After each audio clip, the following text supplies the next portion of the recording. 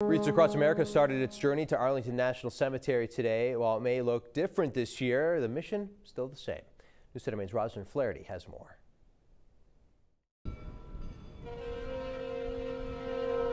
The journey to honor those who have paid the ultimate sacrifice and their families begins. Their duty was to serve, and our duty is to honor. Thousands of Maine made wreaths stop in Portland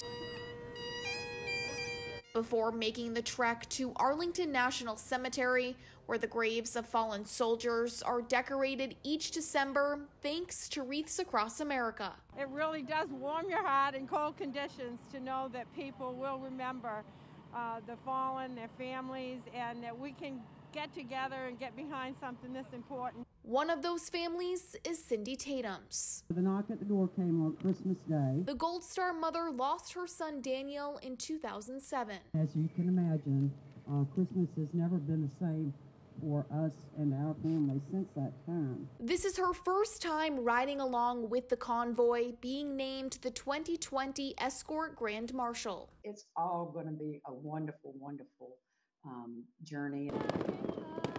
The organization getting a fireworks send off.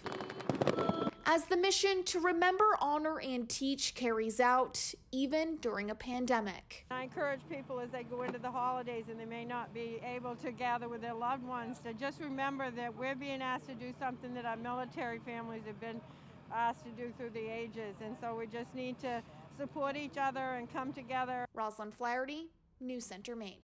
The convoy will be abbreviated with the number of people due to the pandemic. The organization says while people are encouraged to watch the convoy pass through their state, they're asking people to social distance, and the convoy will be streamed virtually.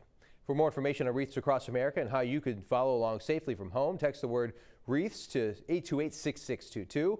We'll send you a link to our article with the details on the ceremony and safety precautions.